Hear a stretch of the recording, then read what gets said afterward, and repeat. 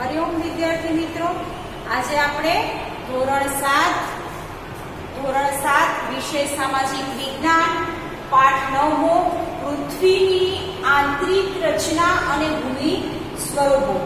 બરાબર? એ પાઠની આપણે આજે શરૂઆત કરીશું. પાઠની નામ ઉપરથી જ આપણે ખ્યાલ આવી જશે કે આપણે જે ગ્રહ ઉપર રહીએ છીએ. બરાબર? પૃથ્વી નામનો ગ્રહ.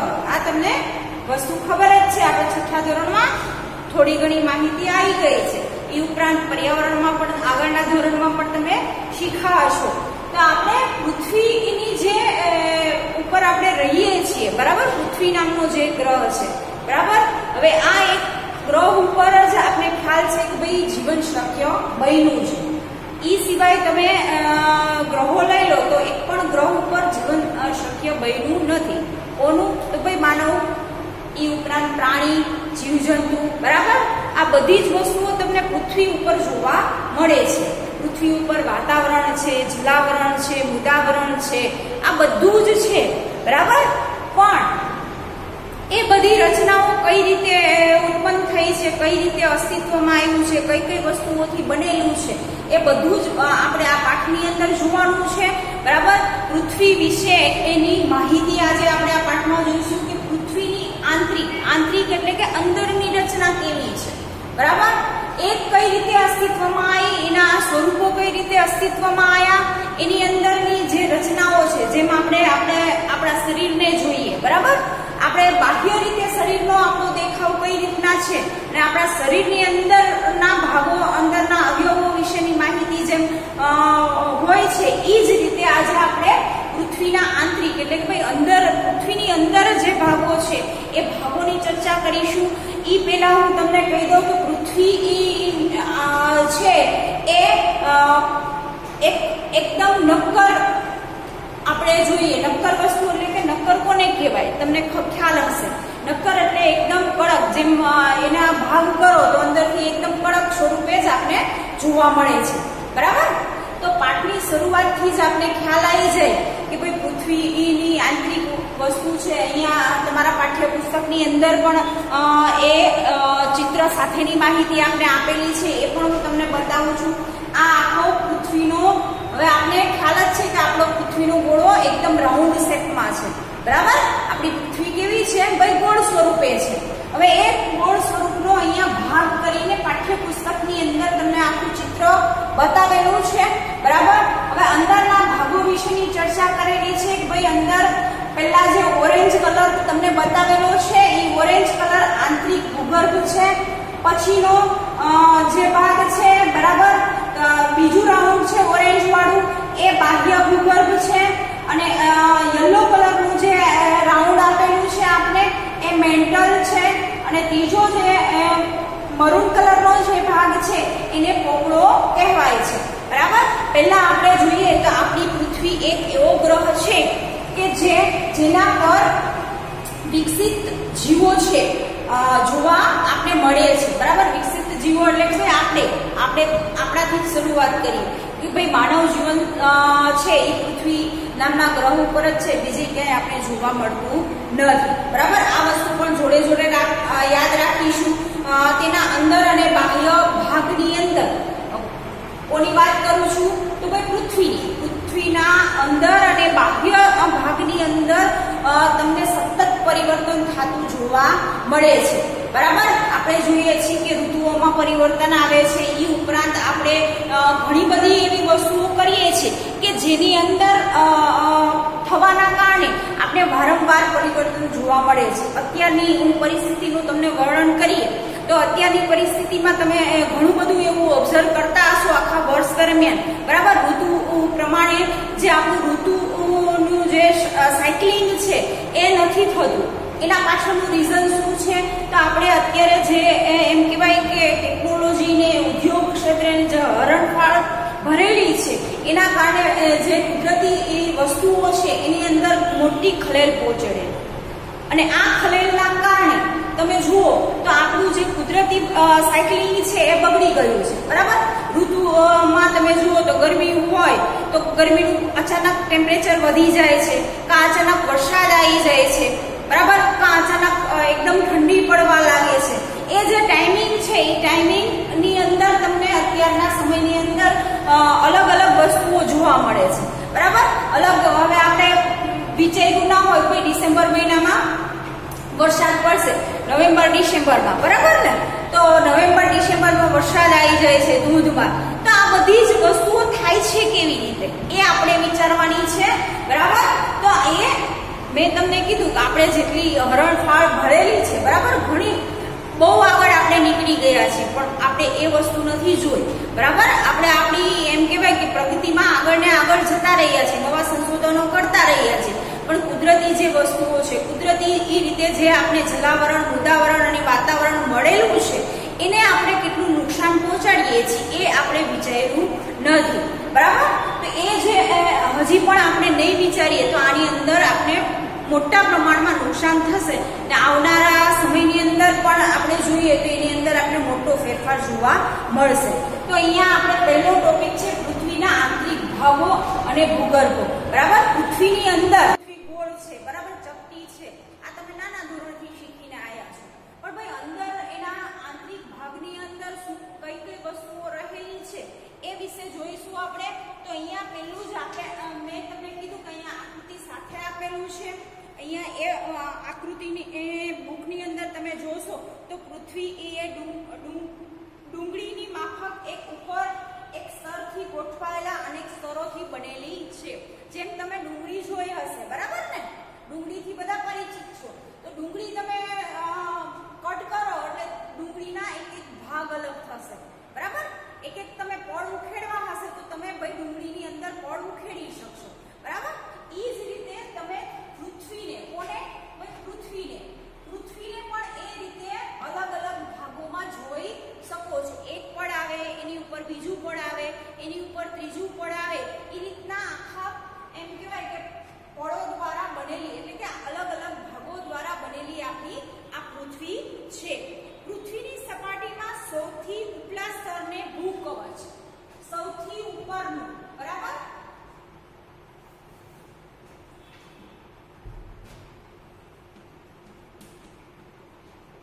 સૌથી ઉપરનું ઉપરનું જે સ્તર છે એને શું કહેવામાં આવે છે તો ભૂકવચ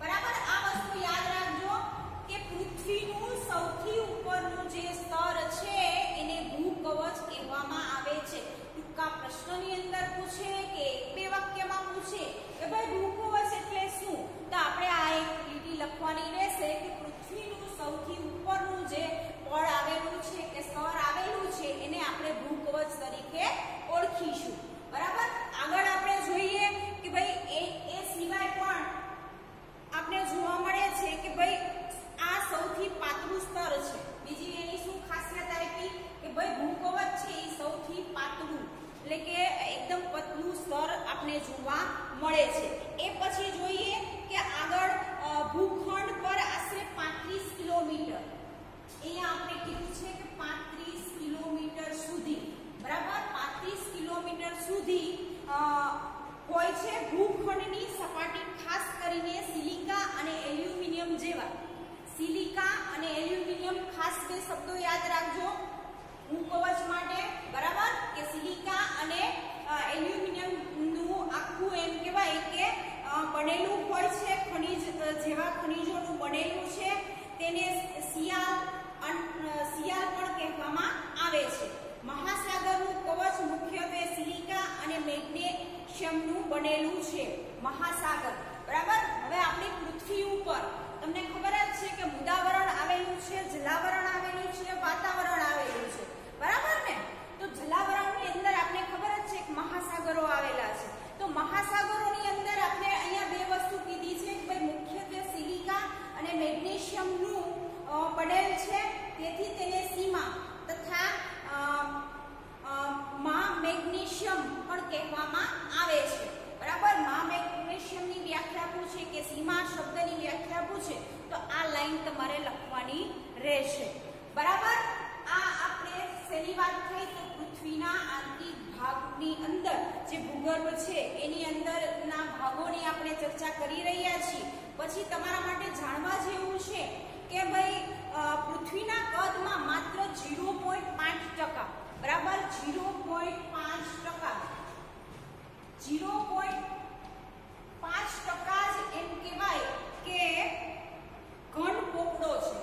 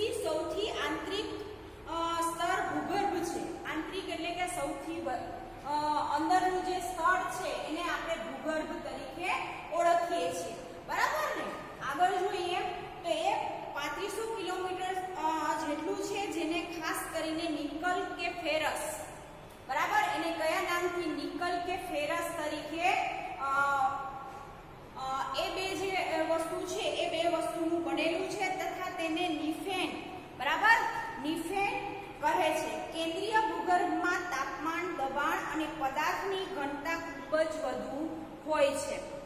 અહીંયા તમને ખાસ વસ્તુ એ કે તાપમાન, ઘનતા, બરાબર એ બધી જ વસ્તુઓ અહીંયા ખાસ ભૂગર્ભની અંદર મહત્વની બની જાય છે. બરાબર? શું કામ? આપણે જોઈએ છીએ કે ઘણીવાર ભૂગર્ભની અંદર આપણે ઉથલ પાથલ થતી જોવા મળે છે. બરાબર? આપણે જોઈએ છીએ ધરતીકંપ જેવી પરિસ્થિતિ આવે છે. ભૂગર્ભની અંદર ઘણીવાર એવા અવાજો આવે છે. તો આપણે એ પણ વસ્તુથી પરિચિત છીએ કે ભૂગર્ભની અંદર જ્યારે પણ હિલચાલ થાય છે, ત્યારે આપને ખબર છે કે વિસ્ફોટ જેવી પરિસ્થિતિ ઉત્પન્ન થાય છે. ઘણા એવા સેન્સિટિવ વિસ્તારો છે કે જેની અંદર ભૂગર્ભની અંદરથી એ બહાર મેઘમાં સ્વરૂપે બહાર આવે છે, તો ત્યારે પરિસ્થિતિ કેવી એ વિસ્તારોની અંદર થાય છે વિસ્ફોટ સાથે. બરાબર, આપને ખબર જ છે કે ભાઈ વિસ્ફોટ થાય ત્યારે મોટા અવાજ સાથે બહાર નીકળે છે પૃથ્વીના પોપડામાંથી. અને એ મેઘમા સ્વરૂપે આપણે જોઈએ છીએ. તો એ ઘણા એવા વિસ્તાર છે કે એ વિસ્તારની અંદર આ ઘટના વારંવાર બને છે. એ ઘટના બને છે તો ઘણા બધા ફાયદા પણ થાય છે અને ઘણું બધું નુકસાન પણ છે. બરાબર? ફાયદો એ વસ્તુનો છે કે એ મેઘમા સ્વરૂપે નીકળતા જે લાવા છે, એ લાવાના કારણે ઘણા બધા ફળદ્રુપ મેદાનો બને છે અને એ મેદાનો ઉપર આપણે પુષ્કળ પ્રમાણમાં કોઈ ખેતીનો વ્યવસાય કરી શકાય છે બરાબર? એવા ઘણા આપણા દેશની અંદર એક્ઝામ્પલ છે કે એ વિસ્તારોની અંદર તમે જો જાઓ તો મોટા મોટા આવા વિસ્ફોટોના કારણે ત્યાં સરસ મજાના મેદાનોની રચના થઈ છે ને અત્યારે હાલની અંદર એમ કહીએ તો એ મેદાનો ઉપર પુષ્કળ પ્રમાણમાં આપણે આખા વર્ષની અંદર કોઈ પાકો લઈ શકીએ છીએ. બરાબર? શું કામ કે મેદાનો એટલા ફળદ્રુપ અને રસાળ હોય છે, એના ઉપરથી એ મેદાનો ઉપર સરળતાથી આપણે ખેતી કરી શકીએ અને પાક સારામાં સારો મેળવી શકીએ છીએ. એ વસ્તુ પણ છે. સાથે સાથે પછી આગળ આપણે પાઠમાં જોઈએ તો ભાઈ ખડકો અને ખનિજ. બરાબર? બીજો આપણો ટોપિક આવશે ખડકો અને ખનિજ. તો ભાઈ, ખડક શેના બનેલા હોય છે? પૃથ્વીના પેટાળની અંદર. બરાબર? ખડકો ક્યાં હોય છે? તો પૃથ્વીના પેટાળની અંદર. આ વસ્તુ ખાસ યાદ રાખજો, ખનિજો પણ આપણે પૃથ્વીના પેટાળમાંથી મળે છે. બરાબર? લોખંડ, તાંબુ, પિત્તળ, સોનું, આ બધું જ છે. એ ક્યાં છે? તો ભાઈ પૃથ્વીના પેટાળની અંદર. બરાબર? આ બધી જ વસ્તુઓ ખનીજો છે. આપણે પેટ્રોલ, ડીઝલ ક્રૂડ બરાબર? એ બધું જ આપણે ક્યાંથી મળે છે. તો ભાઈ આપણે પૃથ્વીના પેટાળમાંથી કુદરતી બક્ષિસ છે. બરાબર? કુદરતી રીતે આ બધી વસ્તુઓ આપણે મળેલી છે. એમ બધી જ વસ્તુઓનો આપણે અત્યારે ભરપૂર ઉપયોગ કરીએ છીએ. બરાબર? આપણે ખબર જ છે કે ભાઈ પેટ્રોલ, ડીઝલ એ ઉપરાંત ઘણી બધી એવી ચીજ વસ્તુઓ છે, સોનું, ચાંદી, બરાબર? એવી લોખંડ, એ બધી જ ધાતુઓથી આપણે એમ કહેવાય કે આજુબાજુ ઘેરાયેલા છે. એ બધી વસ્તુઓ આપણી આજુબાજુ છે જ. ને એમાંથી જે વસ્તુઓ બનાવેલી છે, એ ધાતુને ખનિજમાંથી, એ વસ્તુઓનો આપણે ભરપૂર ઉપયોગ કરીએ છીએ. બરાબર ને? તો આ અને ખનિજો છે એ કેની અંદર છે તો કોઈ પૃથ્વીના પેટાળના જે ભાગ છે એની અંદરથી આપણે જોવા મળે છે. તો એમાં અલગ અલગ ભાગ છે, બરાબર? ખડકોના અહીંયા પેલું અગ્નિકૃત ખડક છે, બીજું જળકૃત ખડક છે અને ત્રીજું રૂપાંતરિત ખડકો છે. બરાબર?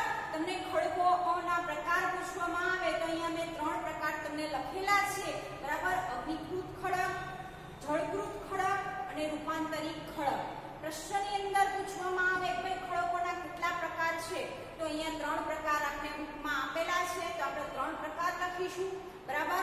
હવે ત્રણેય ત્રણ પ્રકારની આપણે વિસ્તારથી સમજૂતી મેળવીએ. ભાઈ અગ્નિકૃત ખડક એટલે શું? પહેલો જ આપણો ટોપિક છે, ખડકના પ્રકાર પોતાના ગુણ કદ અને તેના નિર્માણની પ્રક્રિયાને આધારે અલગ અલગ આપણે જોવા મળે છે. અગ્નિકૃત ખડક છે એ કઈ રીતે ઉત્પન્ન થાય છે તો ભાઈ એનું નિર્માણ કઈ રીતે થયું? નિર્માણ એટલે કે બન્યું છે કઈ રીતે? બરાબર? નિર્માણનો અર્થ એ થાય છે કે ભાઈ કઈ રીતે બન્યો છે એ ખડક? આપણે જોઈએ છીએ કોઈ પણ વસ્તુનું આપણે નિર્માણ કરીએ તો ભાઈ એ પહેલા પાયોથી લઈને જ્યાં સુધી એ આખી ઇમારત બની ના જાય, ત્યાં સુધી એની બધી જ વસ્તુઓ આપણે જોવી પડે છે. એ જ રીતે આ કુદરતી રીતે જે વસ્તુ બને છે, ખડકો છે એ કુદરતી રીતે બને છે. તો એનું કઈ રીતે નિર્માણ થયું છે, એના ઉપર આપણે આધાર રાખીએ છીએ અને એ નિર્માણની પ્રક્રિયાની દ્રશ્ય ખડકો ત્રણ ભાગમાં જ વહેંચાયેલા છે. બરાબર? જે રીતે એમ કહેવાય કે કુદરતી રીતે થાય છે, એમાં ત્રણ ભાગમાં આપણે વહેંચેલા છે. આ વસ્તુ ખાસ યાદ રાખવાની છે, કેટલા ભાગ છે ખડકોના? તો ભાઈ ત્રણ ભાગ. બરાબર? એમાં પહેલો ભાગ આપણે જોઈશું અગ્નિકૃત ખડકો. તો ગરમ મેઘમાં ઠંડો થઈ જતા બરાબર અગ્નિકૃત ખડક કઈ રીતે અ, અસ્તિત્વમાં આવે છે મેં તમને પહેલા જ કીધું કે એવા ઘણા વિસ્તારો છે કે એ વિસ્તારોની અંદર ભાઈ જમીનની અંદર અ, એમ કહેવાય કે કુદરતી રીતે એવો વિસ્ફોટ થાય છે ને એ વિસ્ફોટમાં જે મેઘમાં નીકળે છે બરાબર? એમ લાવા જે નીકળે છે, જ્યારે એમ કહેવાય વિસ્ફોટ થાય અને એ સમયે આપણે આજુબાજુમાં હોય તો આપણે જીવી શકીએ નહીં. બરાબર? શું કામ કે પૃથ્વીની અંદરથી જે વિસ્ફોટ થાય, એકદમ એ એમ કહેવાય કે એકદમ ગરમ હોય છે અને એ લાવા જ્યારે ઠંડો પડે છે, ત્યારે એ અગ્નિકૃત ખડકની સ્વરૂપે આપણે જોવા મળે છે. અગ્નિકૃત ખડકોના બે પ્રકાર છે. બરાબર? અગ્નિકૃત ખડક છે, એના કેટલા પ્રકાર છે? એવું પૂછવામાં આવે તો તમને યાદ રહેવું જોઈએ કે બે પ્રકાર છે. બરાબર? આપણે એ સિવાય પણ જોઈએ કે તમારી બુકમાં આપેલું છે કે તમે એ સિવાય પણ જાણો અહીંયા જાણવા જેવું તમારા બુકની અંદર કોષ્ટક તમે જોશો પાના નંબર ઓગણપચાસ ઉપર. પહેલું આપેલું છે ઇગ્નિયસ એટલે કે લેડી શબ્દ છે ઇગ્નિયસ જેનો અર્થ છે અગ્નિ બરાબર અગ્નિ આપણે અહીંયા અ, જે રીતે અ, શબ્દ વાપરીએ છીએ એ કઈ ભાષામાંથી આવ્યો છે તો ભાઈ લેટિન ભાષામાંથી બીજો શબ્દ આપેલો છે સેન્ટિમેન્ટરી બરાબર એ પણ લેટિન ભાષાનો એમ કહેવાય કે અ, શબ્દ છે જેનો અર્થ છે સ્થિર. પછી ત્રીજો શબ્દ છે, એ છે મેન્ટા મોટિફિક ગ્રીક શબ્દ મેન્ટા મોટિફિક જેનો અર્થ અને સ્વરૂપ બદલાતું રહે છે. બરાબર? તો અહીંયા આપણે જોઈએ કે ભાઈ અગ્નિકૃત